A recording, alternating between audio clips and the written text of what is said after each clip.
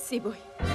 La ambición de una mujer la llevará a tierras lejanas Estoy pensando en quedarme y mandaría por mi madre y Junior para que vivan conmigo. y la sepultará en un sólido y peligroso mundo. Todo lugar del mundo tiene un punto de fuga. Una emocionante historia de coraje, Jamás voy a aceptar prostituirme porque otro quiera. Jamás lo aceptaré. Nunca, por Dios. La Guerrera, de lunes a viernes a las 9 de la noche. Por Teleantillas, eres tú. você pelo braço.